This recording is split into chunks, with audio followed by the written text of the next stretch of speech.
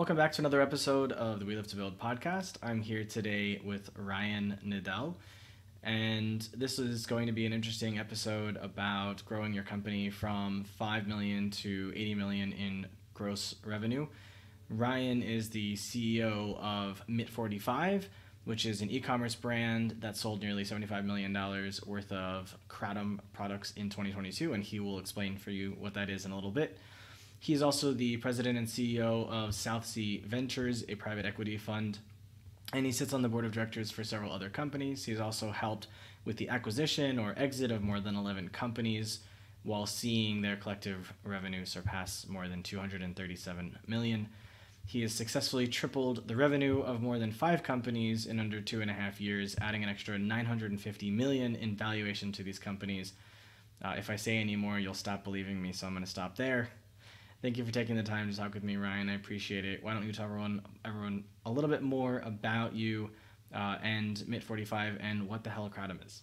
Yeah, Sean, thanks for having me first and foremost. I love I love what my team has put together for for that beautiful intro. It makes me sound larger than life. And what it really comes down to is I'm I'm just a normal guy from Midwest. Right. And it's not to downplay myself. I don't have a fancy MBA from a prestigious Ivy League university. I live in Columbus, Ohio, kind of born and raised lived my entire life in different parts of Ohio. And a lot of my success has been on the backside of my own shortcomings, right? Where went to college for mechanical engineering, not because I wanted to be some fancy engineer, but because math and science were just very simple for me. And it was literally the path of least resistance. I would love to say I had some huge aspiration in going to college. My aspiration was to get a degree in the simplest fashion possible. And when you say engineering, people are like that's that's ludicrous, but it's just how my brain works, right? Math and science, again, we're, we're second nature. And so that's allowed me and afforded me a luxury in my professional career of being able to look at things and laughingly reverse engineer the success that I seek, right? So it's if I want to be a $100 million year business, what are all the things that would have to happen in a rough sequential order to help support that? And part of any business's growth is the unknown. I think we, you and I could probably agree with knowing a little bit about your background. Like the, the path is crystal clear until you start taking some of those first steps. And then for me, I, I've realized every once in a while that crystal clear path is is really a hall full of mirrors. And I'm gonna have to navigate this clear path, kind of, you know, searching around on the ground for where the actual path is versus what I thought I saw. Which led led me into this world, Sean, of from selling a couple businesses. So I sold a, a host a web hosting company to a subsidiary of GoDaddy about nine years ago. Jumped into high risk merchant processing that I thought I, I thought at 29 I had the Midas touch. I'm 38 right now. I found by 30, just about 31, I didn't have the Midas touch. Like everything I was touching was turning to coal versus gold. So the the high risk merchant processing company I started was an abysmal failure. All the money I had had made from the exit of the hosting company was all gone. Rental properties in foreclosure, truck got repossessed. I'll say a negative net worth of you know 40 to 60 grand like really, I'll say pretty low. Started a custom clothing company. Was fortunate enough to learn a lot about wool and haberdashery. Bought into a manufacturing facility in England. Helped grow that, and I did a, an owner finance deal to my head of sales after after two year time period. Jumped into CBD before people knew what CBD was, and not because I was passionate about CBD. Really, I saw the right place at the right time. I saw that Google search search volume was increasing for CBD. There wasn't a lot of really powerful direct to consumer brands at that point.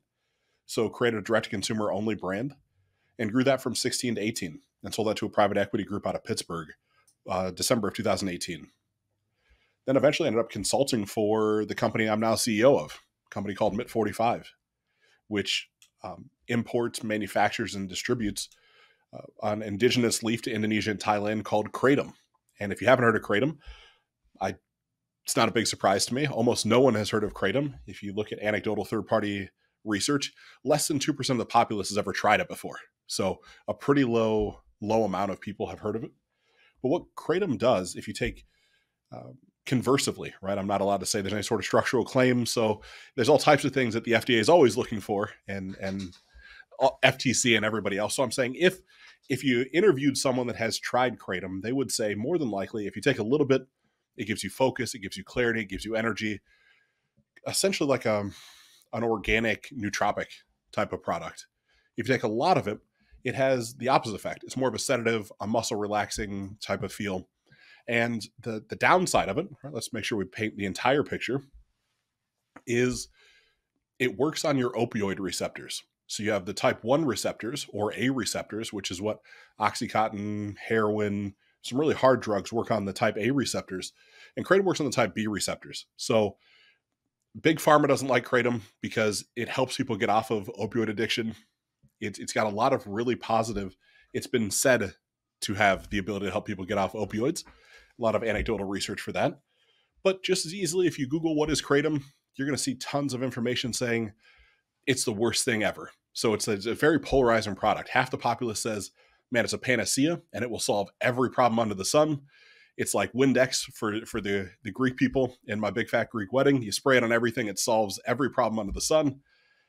Or the opposite side, which is if you look at it, it's going to absolutely kill you. So we've been able to grow this business again. When I came around, $5 million a year in annualized revenue. The numbers aren't all the way tight from last year. We're certainly north of 70 million we'll see what we have in, in some of those reserve accounts and what things look like. But in between 70 and 75 million is where we hit for 2022. So a lot of growth from 2018 to 2022. I wonder how much of that is due to the COVID pandemic, where people are just at home and they're like, oh, I just want to like feel chill or like I, I know during that time I definitely felt a lot of anxiety. Um, especially from my own business and COVID specifically, I was really anxious around getting infected and not wanting to get infected. And um, I definitely found some solace in uh, Klonopin, which isn't a good. It's it's not good to like take these kinds of things, but I was very fortunate that I was able to get some, and um, it was helpful. But I, I think some people don't want to go that route, and so they looked things like that. Um, I think Ka'Chava and and weed were also really big purchases during that time. Um, but hey, you know, business is business, and if it's not addictive, then you know let's do it. E- even if it is addictive you, you look at some people and they don't have the same moral uh, centers that some people do. And well you know they're being sued right now for billions of dollars and their names can't be named because of the the agreements they've made with courts. Of course. To, to make mention of that just so I'm, I'm painting the right picture of this product there there are plenty of conversations to say that kratom could be addictive. What i look at it is if you're someone that if you have a, one drink of alcohol, you find yourself having 12 drinks and you can't stop at just one, you might not want to try something like Kratom because if you start to feel good, you might want to feel better and you might keep trying it.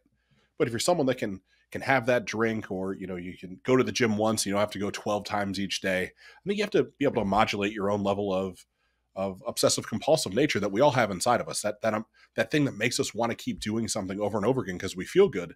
It's how much self regulation do you have on that?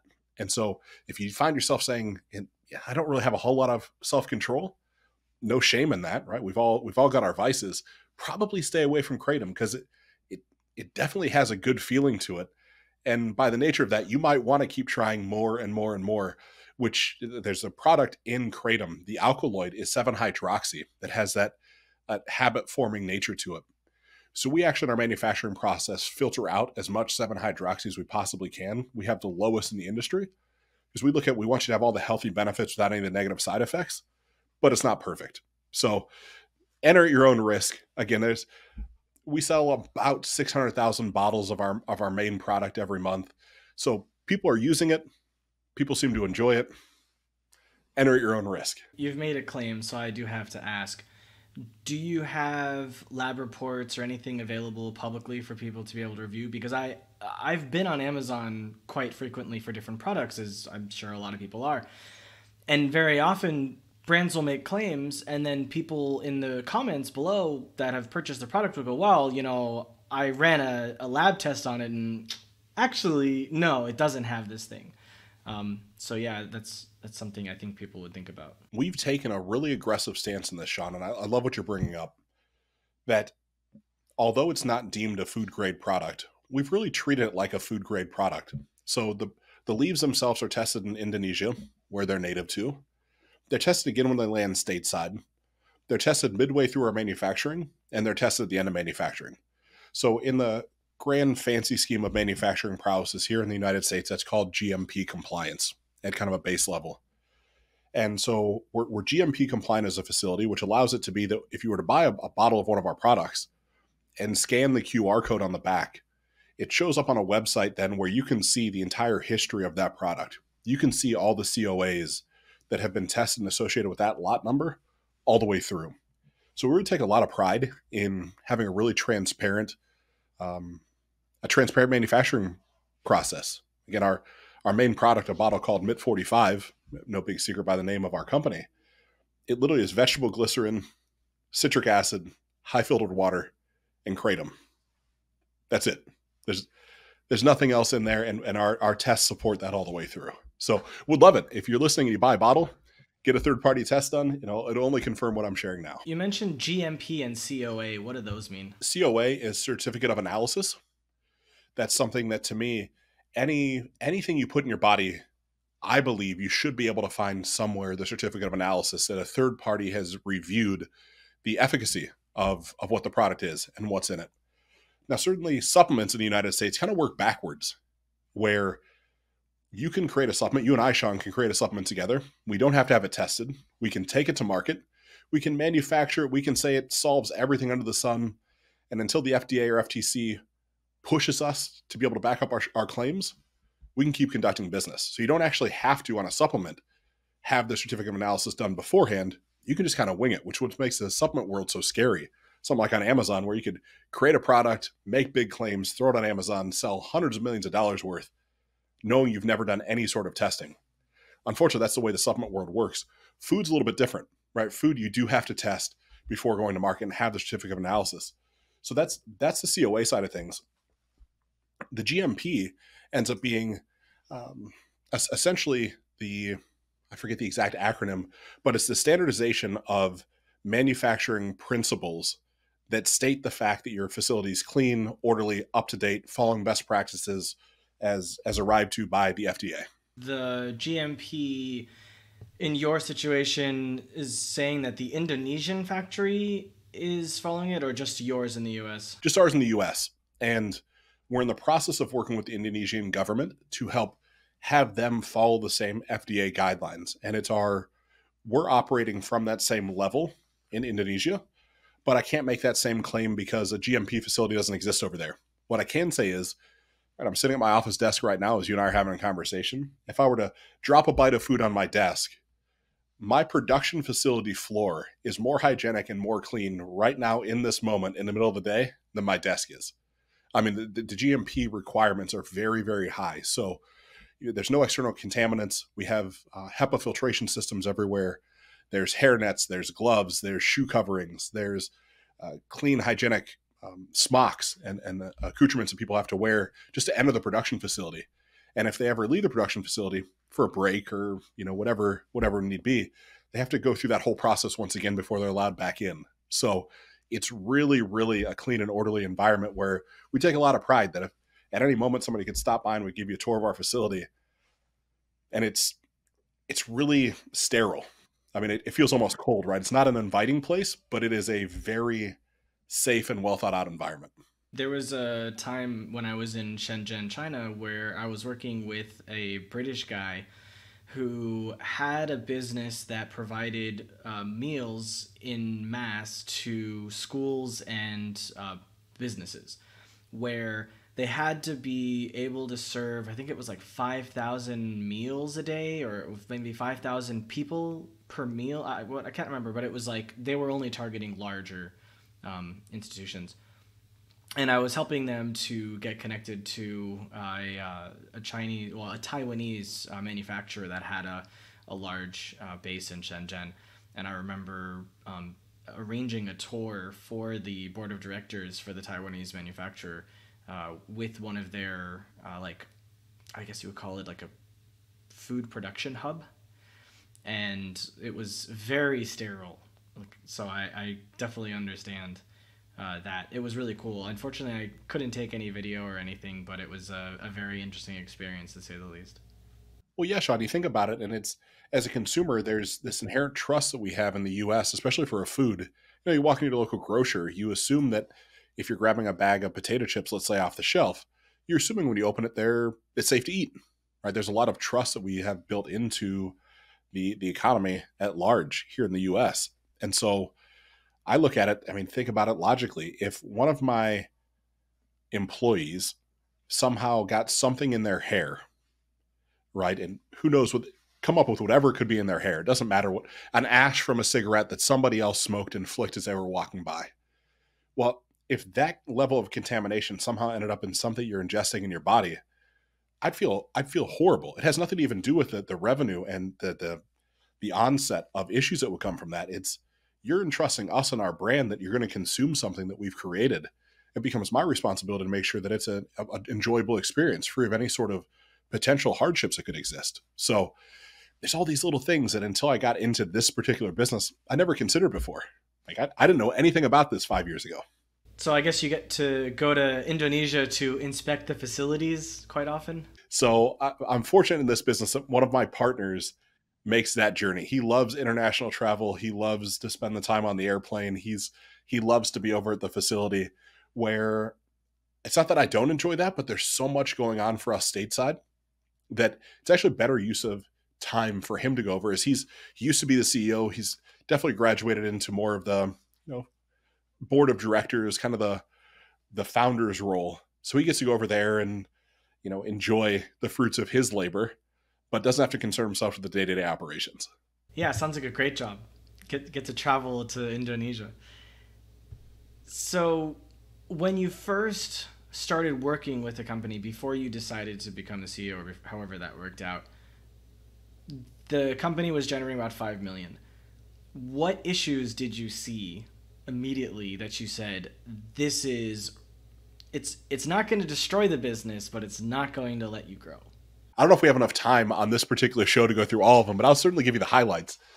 Right. So, and I've, I've seen this time and time again, even in my own businesses. It seems like the the zero to one million dollar a year range, you can do that kind of on hustle, tenacity. You can really figure out. That's really the time to figure out product market fit or market message match, however you want to look at it. You can get to that million, and then one to five is a combination of that hustle and the levels of systems and processes. And so the company had systems and processes, they were just inefficient. And perfect example of that. Back then, and, and they were at five million a year for a few years in a row. If you were someone that was buying product from us, a, a gas station, a, a convenience store chain, you'd speak to one of my sales professionals. My sales professional would take your order. They would physically walk back into our warehouse, give it to a fulfillment specialist. The fulfillment specialist would package your order up and ship it out. Then once it got shipped out, accounting got to know about it. So when I came in, we had 1.6 million in uncollected accounts receivable that no one even knew existed. Because you think logically, uh, really what should happen and what happens now, a salesperson takes an order, it gets sent over to accounting. We have to make sure there's no outstanding balance on their account. We have to make sure they're in good credit standing. We have to make sure they, they are who they say they are. W 9s are filled out, all the stuff that goes into conducting real business and then it goes to fulfillment to, to be shipped out. And so just reevaluating the the processes that customers go through and that we were operating in internally was one of the most pivotal things to start with. It wasn't it wasn't reinventing the wheel. I would love to say, gosh, Sean, I came in, I had this magic marketing idea, and poof, things just took off. No, just by analyzing what we were already doing at that point, it's okay, if we don't grow at all, we'll have an extra essentially $2 million just by tightening up our credit process and what we do that way. And then you start to, you know, that, that worked pretty well to get us from five to 10 million. I started to notice a lot of that 10 to 11 million where quite a few of the people that had got us to that point in time just quite frankly didn't have the skill set or the drive or the ambition to get us to the next next plot which is about 25 million for us the fr- the frustrating part is they were convinced they had the skill set, right? So it's that unconscious incompetence. It's like, no, no, I can absolutely do this. And so we we bring up things like you and I spoke about this. I'll say off camera, so I'll, I'll drop it on here. We, we talk about accounting, right? We had a great CFO, someone that in, in her mind was a phenomenal CFO. So I'm sitting down saying, help me understand our accounting principles, right? Help me understand what goes on. Are we FIFO or LIFO? Those acronyms being last in, first out, or first in, first out.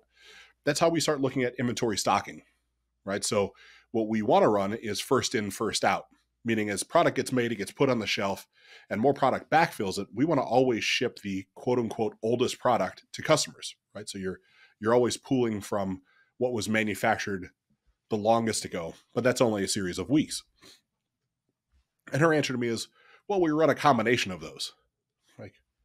That you you you can't run a combination of LIFO and FIFO. As you really get into it with GAAP based accounting, right? Generally accepted accounting principles, um, you have to choose one or the other.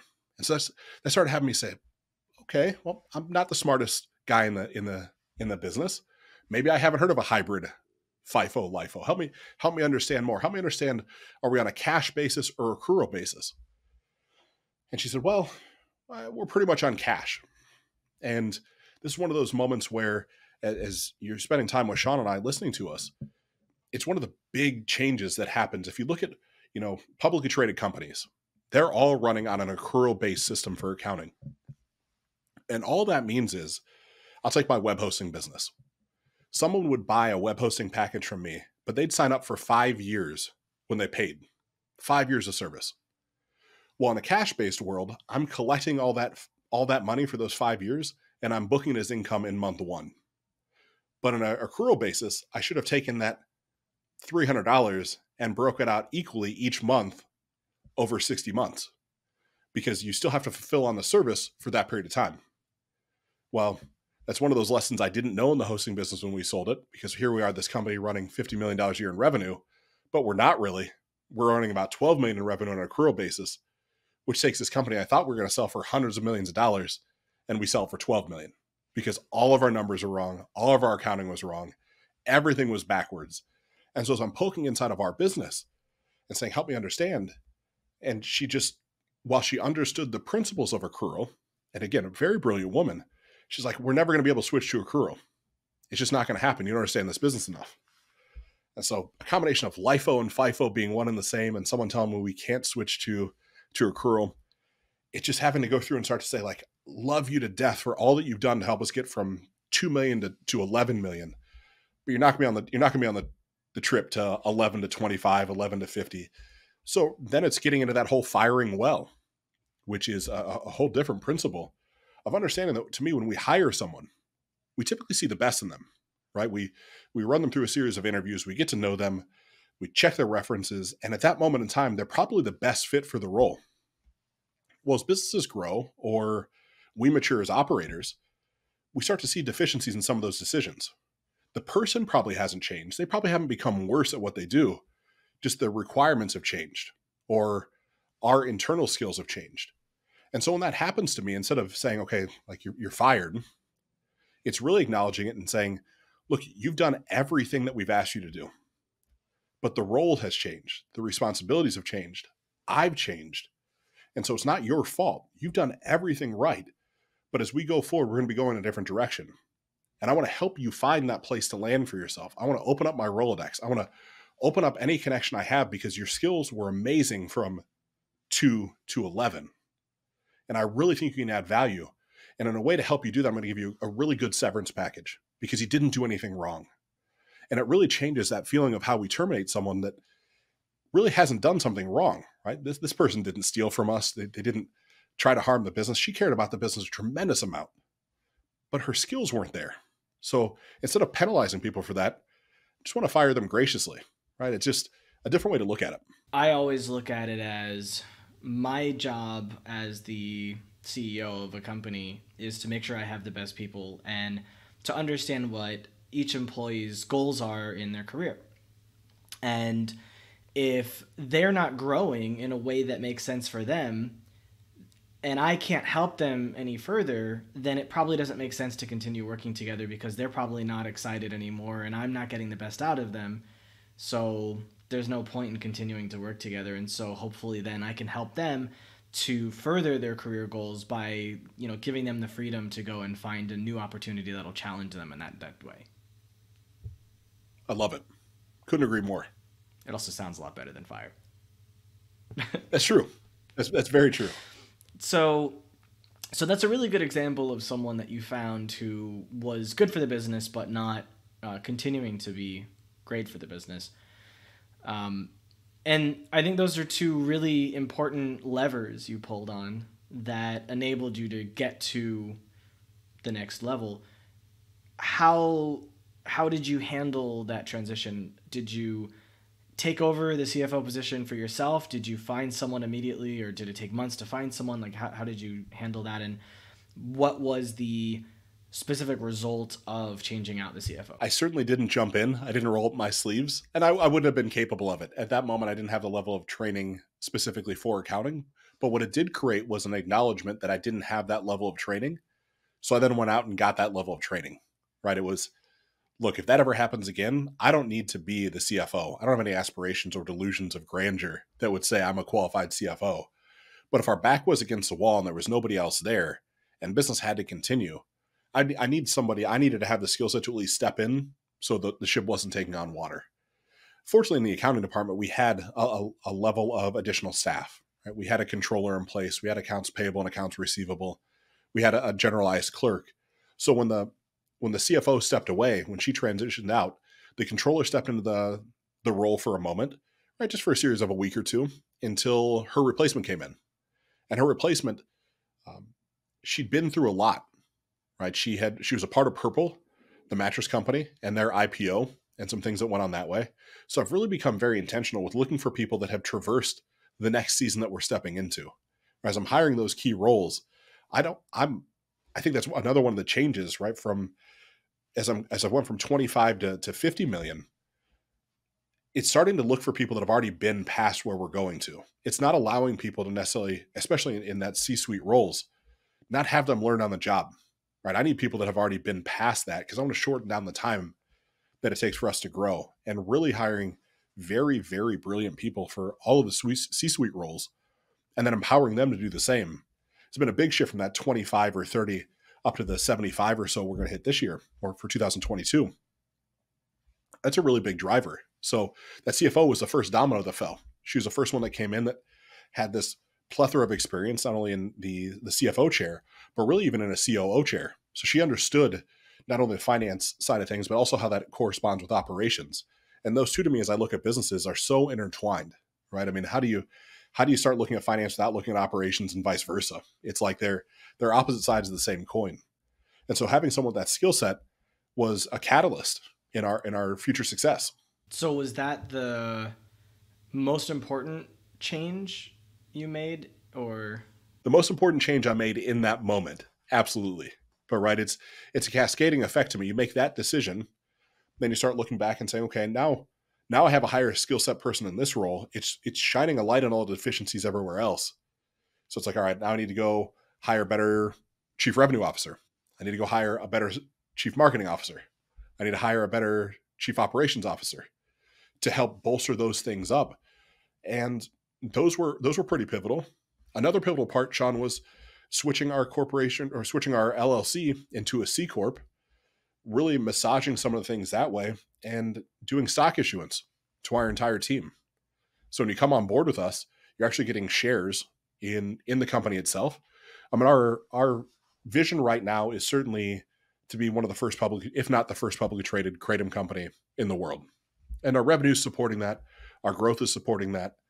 There'll be some uniqueness to figure out what exchange to go to. There's some hurdles that we still have to hop over, but there's something that changes when you show somebody they're an actual owner of the business and that the decisions they're making are affecting the bottom line, which then affects their their distribution, their dividend, in accordance to the number of shares they have. So that was a really, again, as I start looking what's taking us from that that 30, 40 up to that 75, it's really getting cultural buy-in from laughingly the janitor all the way up to me. If we were to call the janitor right now and say, like, what are our core values? They should be able to share what our core values are and not share it like begrudgingly with, oh gosh, let me go look at the plaque on the wall. It should be, no, no, it's it's candor, it's honesty, it's forward facing, it's intelligence, right? They should because they're they're living and breathing it because they understand how that ripples through the entire organization and everybody that interacts with it. What was the the next kind of revenue mark where you felt stuck from from after that 10 after you replaced the CFO? So from 10 the next place we landed was 25. Right? And that didn't feel stuck. That felt like we couldn't get enough done in the right amount of time. And when I say that we couldn't get enough done, to me as we have people from a previous season that are involved in the business, they're unconsciously incompetent in their own right. Right? They don't know what they don't know. So I started having conversation with the sales manager about right, what are the number of turns that an average customer is going through, how are you increasing average order value, what's the throughput penetration on you know these three SKUs, and it looks as though I'm speaking a foreign language to that person. It's not because they're unintelligent, but they were they were brilliant and incredible to get from five to 20 to 25, whatever the number was. But knowing that from 25 to 50, these these details have to start being on the forefront. We can't keep doing more of what we've been doing, expecting to get massively different results. And so, by asking those questions and seeing like, okay, he doesn't quite know what I'm talking about. I mean, he gets it conceptually, but we have no idea how to impact those. It's okay. On one side, I can pay for his training, which is part of our corporate culture. Every employee gets 1,250 bucks a quarter to invest as they see fit into continuing education to better their skill set. But that's only so efficient. It's better for me to say to that individual, You're not fired. You're doing a great job. But I need to bring somebody in for you to learn from. I need to bring somebody in and was able to go to market and find uh, the person that was in charge of sales for DC shoes. As they went from 50 million to 500 million, they had one sales director who's now our sales director. So he's been through international commerce before. He's been through all these things I'm suggesting. He's been through, you know, how do you really market and and create an environment around your brand inside of a retail storefront. Because Sean, out of the 70, I'll say 75 million this year in revenue, 54 million of that is B2B for us. The majority of our revenue is still selling to you who owns five smoke shops across the country.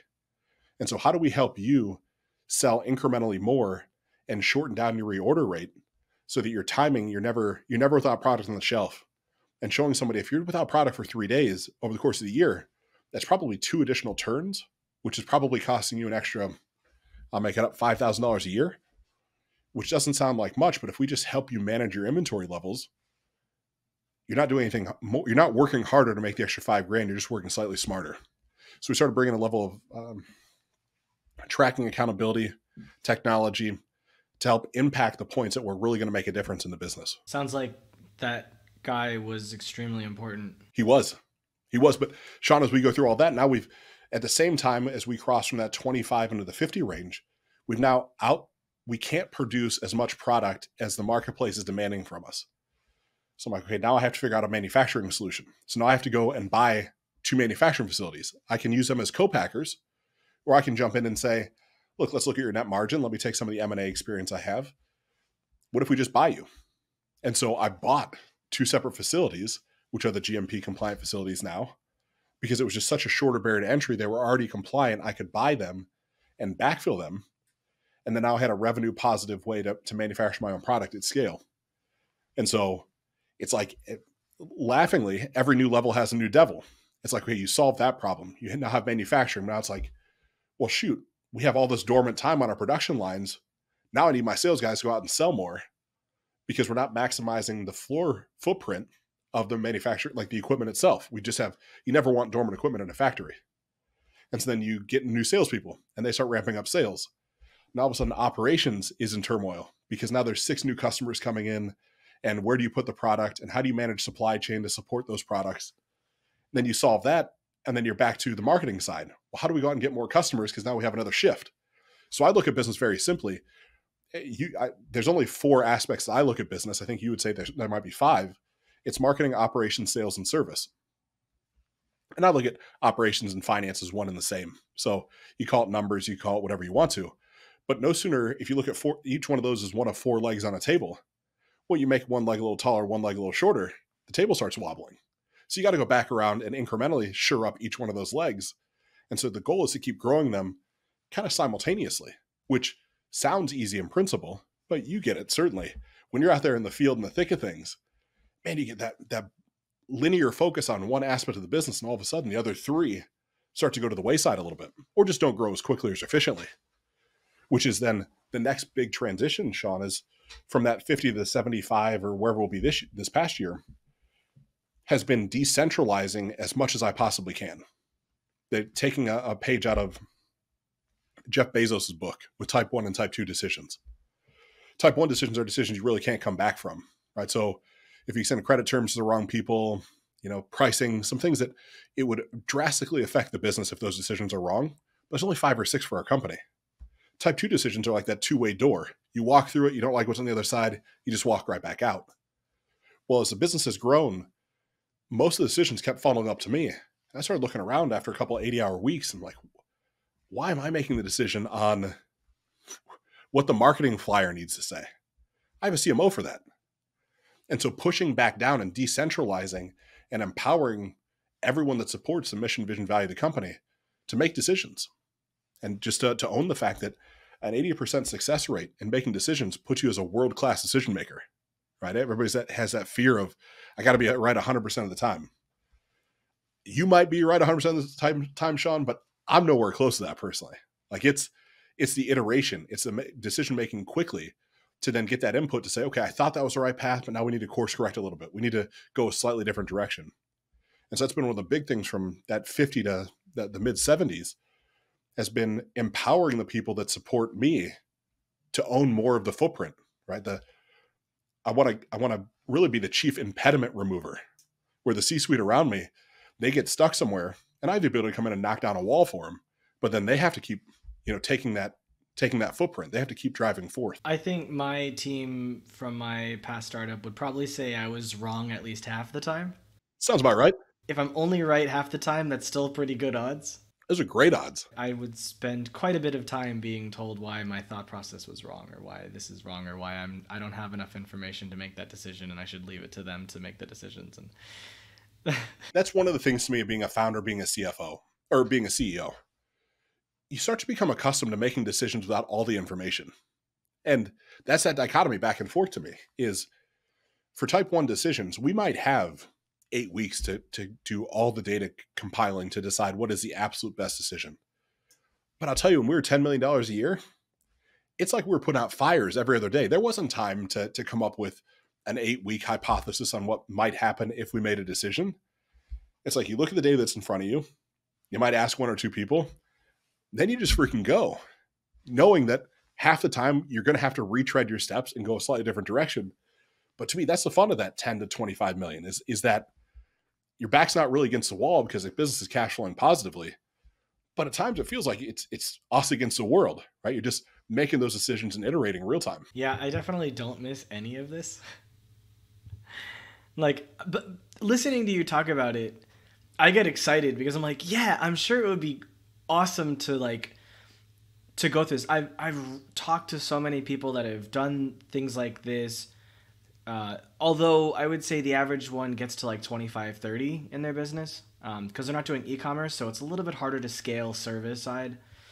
Um, so, like I've learned from them what they've gone through and all of that. Um, physical products, you've got that added issue of the logistics, the supply chain, the manufacturing, the compliance, uh, this the inventory management, all of that, um, which makes it, I think, far more challenging than a service business.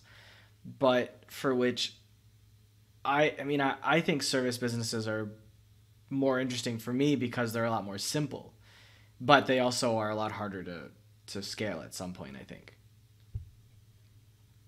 Yeah. So you were saying that you would like to take this company public.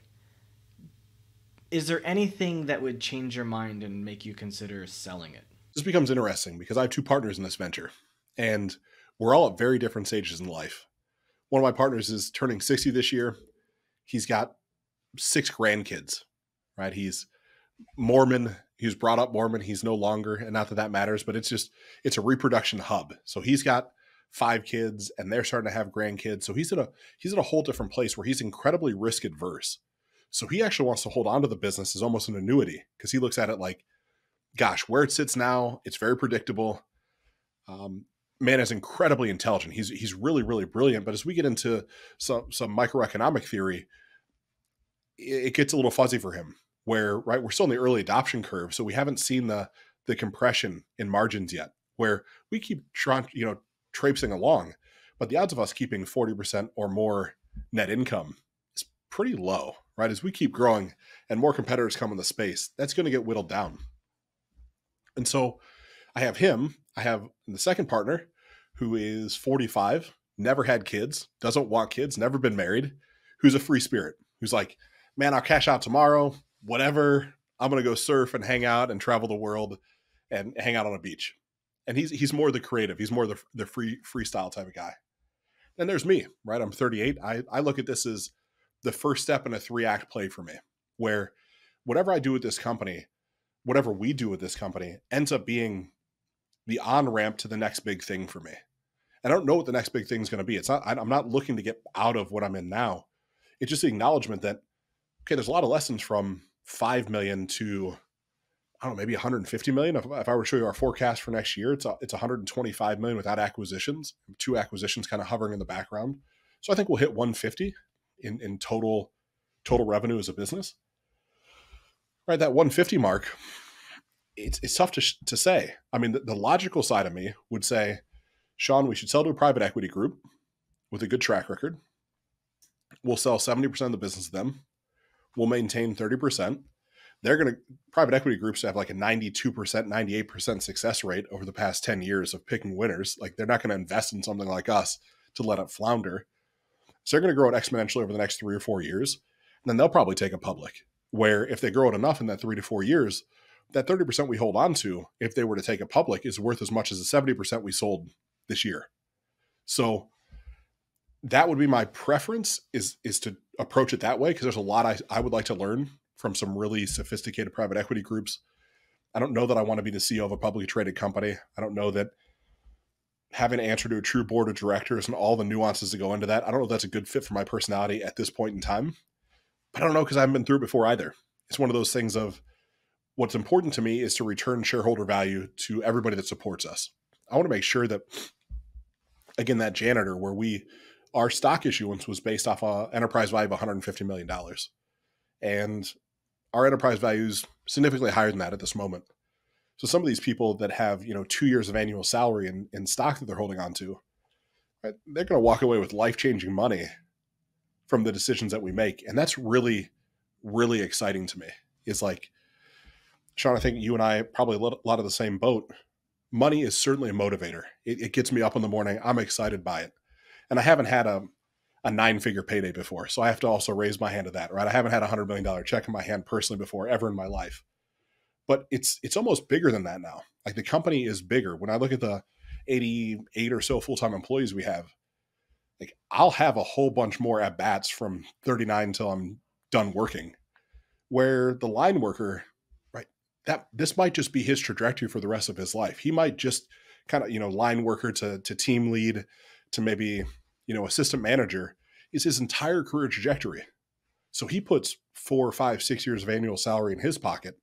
And if it's invested the right way, he's now completely changed the course of his life forever. Now, a lot of ifs there. It's also assuming that someone gets that five, six, seven hundred thousand dollar paycheck in their hand.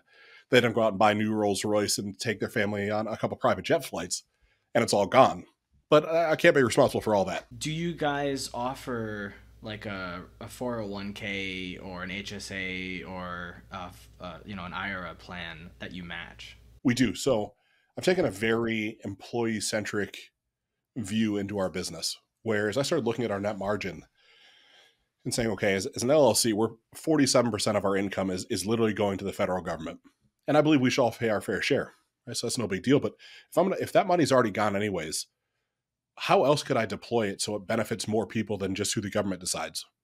And so it started with getting just the absolute best health insurance we could find. I mean, we, we called brokers and said, just max out the best coverage on a national basis you can possibly find. And then we're going to pay for 100% of it as an employer. So our employees have no medical expense. They have their deductible, but their deductible is very, very low $250. And that covers them. And then we pay 20% of their families. So if they want to extend it, like we literally do everything we can to pay all the health insurance for our employees. Then we get a dollar matching. Right. we do have a 401k. Um, it's good, but any 401k is only so good. So we dollar match up to 4%. But we also have a, a financial advisor that works inside of kind of inside of our organization to help people truly understand that we, we pay for this individual, to help people understand what they actually want to achieve. And is the 401k the most effective vehicle for them to do that? Or should they consider an IRA? Should they consider, you know, uh, any other litany of products out there in the in the marketplace. Then we've went as far as but I, think health and wellness is a vital part of how we show up as employers. Right? Am I am I saying I want my employees and my my team to be healthy and be happy, or do I actually live that? So we we do uh, we pay up to $100 per month for gym memberships for all of our employees. We we provide two meals a day from healthy meal prep companies that they can come and eat, you know, two meals a day that are shipped in. We have DEXA scans done for them. They get to to work with nutritionists and dietitians to to give them between that and that $1250 a quarter in continuing education. We really want to create this environment where you're excited to come to work. You have fringe benefits that are way outside what makes quote unquote sense to most people. And that you get the impression that we actually care about you. Because to me, if if you feel like I care about you, because I generally do, but if you feel it and you can actually feel it versus just hear it, and you're supported in growing as a person, I see that people just produce more. And so our what we're doing now is shortening down the workday, kind of counterintuitive to what everybody else does. Um, by quarter four of 2023, no one will be able to work more than six and a half hours a day, but it's deemed full time work.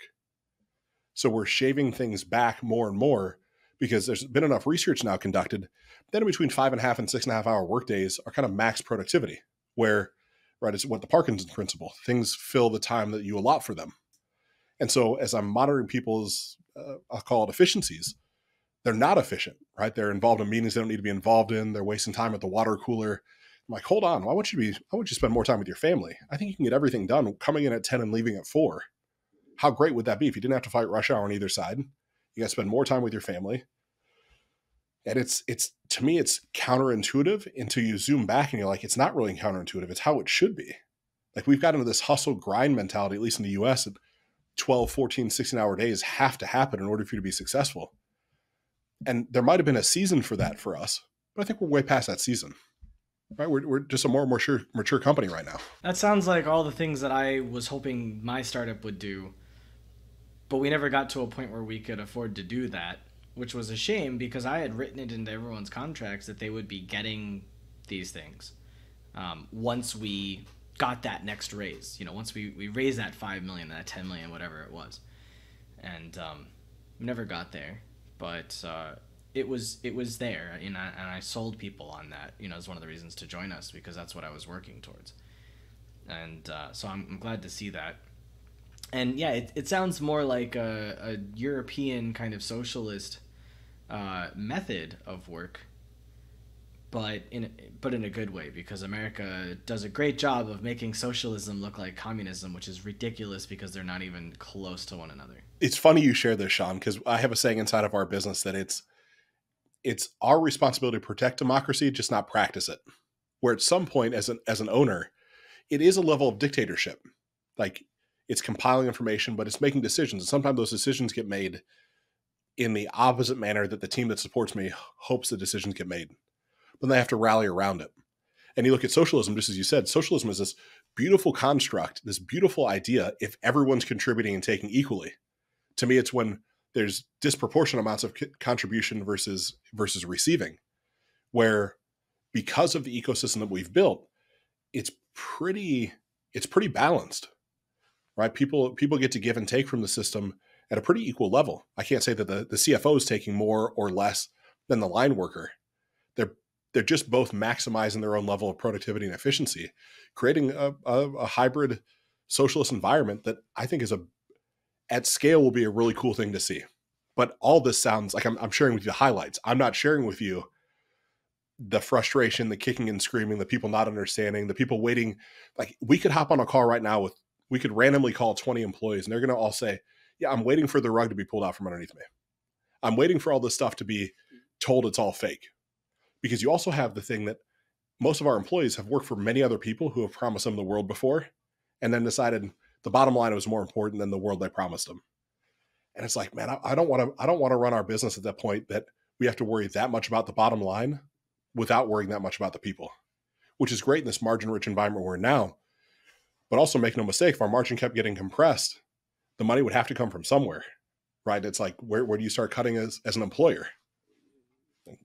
Fringe benefits, too much staff, all the extra pieces and parts, which just get natural to me at a certain point, which then is the opposite, of course, of the socialistic environment that kind of wish to that we aspire to to live within. Is there anything else we haven't talked about that you'd like to mention as we come to a close here? I could sit on my soapbox for another couple hours and share things that, that have been lessons. I don't know. If there's something extra that I that I wish to share about business. To me, it's, it's more about life, and that's I've noticed inside of my trajectory that how I do one thing ends up being how I do most things, if not everything. And so if I find myself, you talk about those four legs, right? The marketing, operation, sales, and service. I also look at us as human beings as having those those same four legs, right? There's a component to our spirituality, whatever that means to you, whether it's a deity or whatever it is that you adhere to. There's the body, the physical vessel we walk around in. There's the relationships in our life, right? Friends, family, partners, whatever you want to look at. And there's this monetary side. And as entrepreneurs, it gets pretty easy to get focused on the money side and start looking around and saying, my quality of life is is trash right? I'm not taking care of my body the right way. My personal relationships are suffering. I don't know what I believe anymore from from a, a deity type of perspective. And what I found is if I try to keep those a little bit in alignment as they're all growing, it makes life more enjoyable to live. And that's really to me so much of what I've caught myself as this this guy that like, I'm an A-type personality. I want to achieve everything. I want to explore everything. I want to I want to see how far I can push the envelope on every capacity. It's what happens when I slow down for a minute. What happens when it's the opposite of push? What happens when I sit there for a second and say, man, what what's the highest version of Ryan doing right now? And if it's not what I'm doing, then it's my responsibility to get to that version really, really quickly. And quite often that version isn't 12 hour work days and coming down on somebody for not producing. It's showing empathy and compassion and understanding and realizing that to me, most of most of life to me is just a mirror of an internal state of reality. And so if things are in flux around me, it means something's probably in flux inside of me that I need to look at first before trying to knock down walls with my fist over and over again.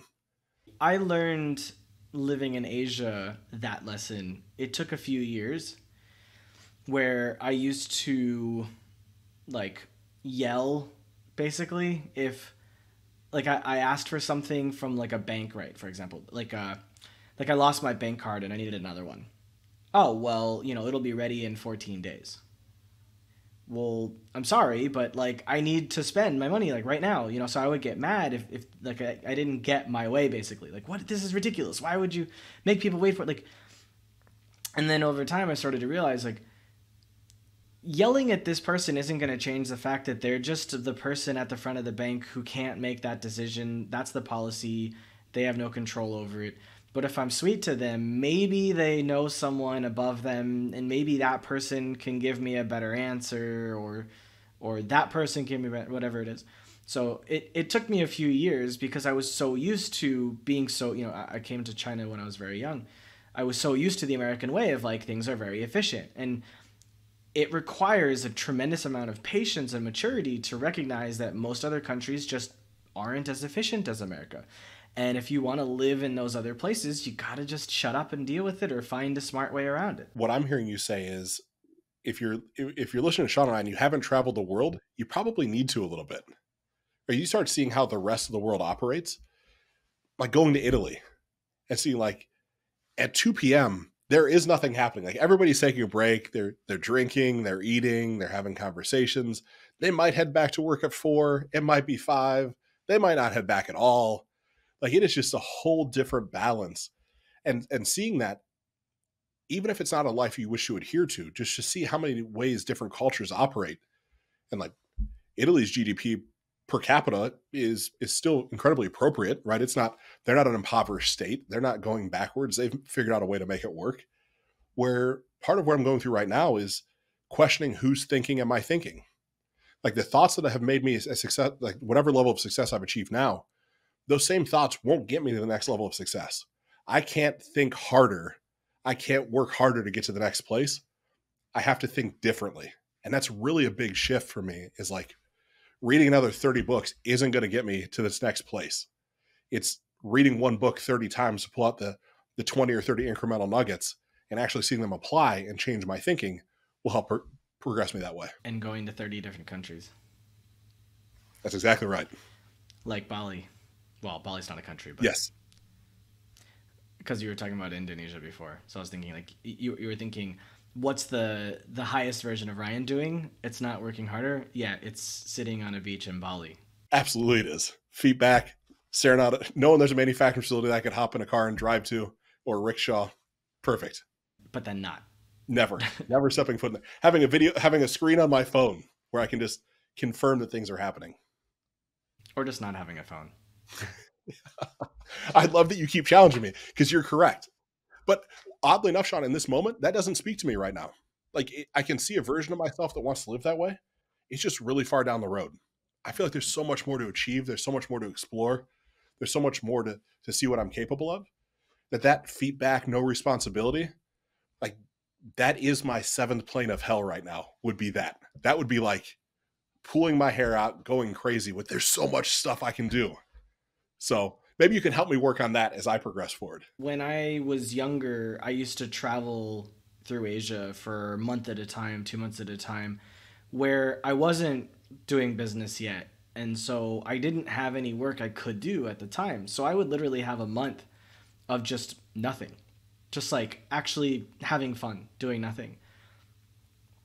I tried like two days off in a row and I was like, what the hell am I doing with myself? Now, like now it's totally different. Now I, I can't take a month. But um, it was good. I, I remember those days fondly, for sure. Those are days I have yet to experience. So I look forward to those in the, in the, the later seasons of my life. So, how can people follow up? Pretty simple. It's just Ryan Niddel, R Y A N N I D D E L.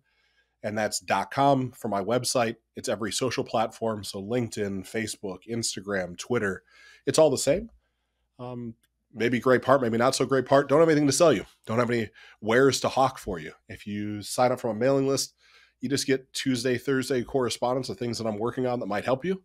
Uh, it's just a way for me to to really document my own journey and be able to look back and say, man, that was a either a really profound thought I had in the middle of January of 2023, or man, what an idiot. What a horrible thing to share with the world. So if you're curious about stuff like that, what I'm up to, what I'm working on, any of those platforms will clue you in. All right. Thank you very much, Ryan. I appreciate it. Don't forget that entrepreneurship is a marathon, not a sprint. So take care of yourself every day. And if you're looking to build your business past $5 million a year, it's a very difficult journey that will take a long time. But if you can figure out exactly what it is that's preventing you from growing and you can fix it as quickly as possible, then maybe you'll get there a little bit faster. Thank you, Ryan.